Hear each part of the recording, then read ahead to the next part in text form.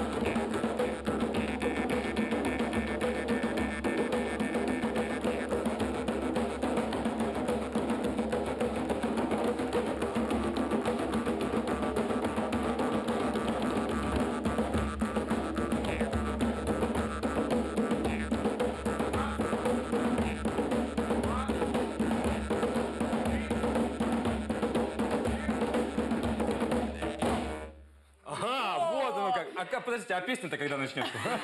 Где. Действительно, с такими ритмами только свободные барабанщики могут справиться. Александр Казаченко, руковод- руководитель группы, представит нам всех, я думаю. Итак, Владимир Соколов, Барабан. Джемба, Александр Кудревич, Джемба, Евгений Степанов, Варган, Александр Казаченко, это я. Джамбо барабан, да, значит? или что? Дж- Джембе. А, джембе. Да. Ага, а вот Разновидность, это наверное. рок, это из чего? От кого? Чей? Это рок горной козы. А, Настоящий, Да, правильно? же это я настоящий понимаю? рок. А и- у меня получилось, в принципе, вот произ- воспроизвести то, что вы делали, да? Ну, у него несколько раз не получалось, а потом Ну, такое. получилось. Давайте, Это... давай все расскажем. Сейчас я попробую еще раз, э, называется... Вы, вы тоже можете попробовать. Серьезно? Конечно, Конечно. Анна. Что вы делаете? Блеяние холостяцкого... Давай сначала ты. Вот.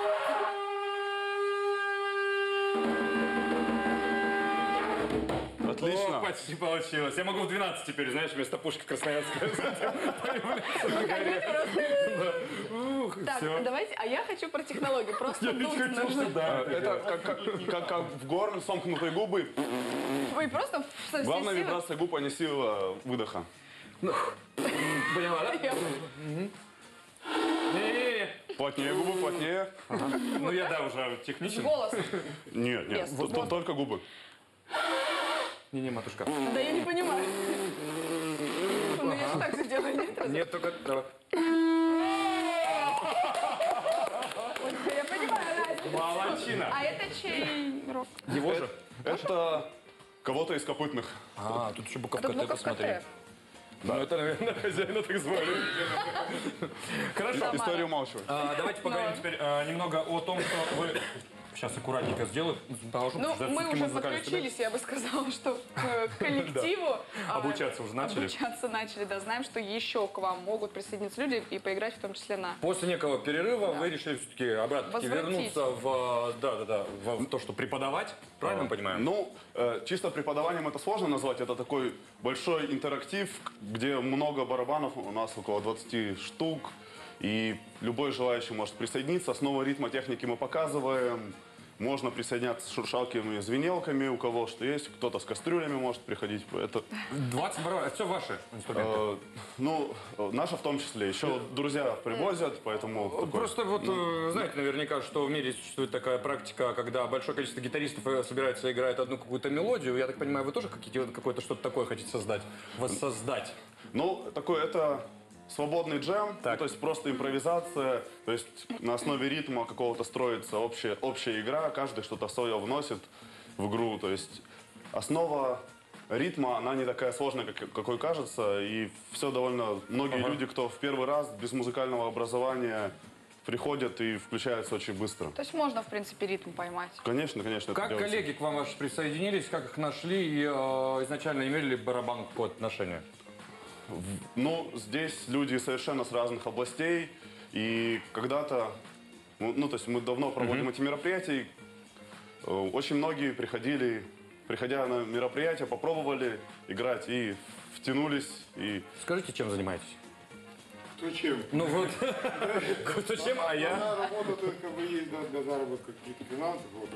А- Это ваш хобби, правильно я это, понимаю? по сути, да, хобби, как бы, однажды когда-то Точно пришел, так же. заболел и все. А сколько человек есть эм, в команде, которая действующая, так сказать, группа? э, действующая 5-6 человек. А Ребята относятся к ним? конечно. То есть это ча- часть, большая часть нашего состава. А мне вот интересно, вы на варгане играете, а на, на бара- каком-то из видов барабанов тоже подыгрываете? Тоже, да. Ну, с барабанов, можно сказать, я начал общение с этнической музыкой, с этнической музыкой, и, в общем-то, это стало стартом в музыкальной деятельности.